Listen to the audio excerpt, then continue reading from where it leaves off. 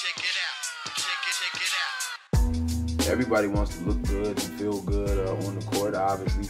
Back, you know, when I was growing up, everybody was all about looking dope on the court, and regardless if it was a basketball-made sneaker or not, of course, these are the Air Max 97s. And I just like the color palettes, man. The leather, this new thing Nike got going on coming up the middle, man. It's just a little different. These China 7s, I think I actually caught these in Flight Club. This one and the Zoom Generation was always my favorite LeBron, man. Man, had these for a minute, got these back. This is uh, from 03. I still haven't even worn these yet. I like them, man. These two are definitely my, my two favorites.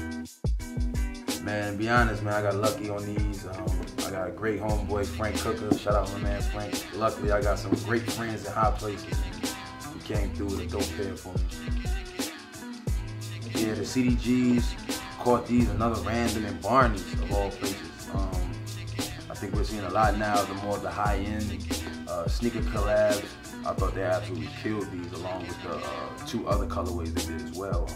I had to go ahead and grab these good black and pink ones. I don't know when I'm gonna freak these. Still haven't worn these, but you know they can say a lot about your personality, man. Um, like I know for me personally, man, no better feeling than open up a box and put on a fresh pair brand new sneakers. Last but not least, um, KAWS 4s, man. Um, he did a tremendous job on these. The details of the gloves and you know just the materials, man. Obviously the glow in the dark bottom.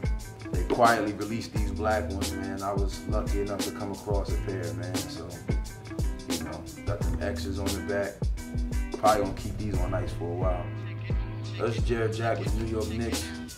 Shout out Slam, Sole Chronicles. These are my sneakers.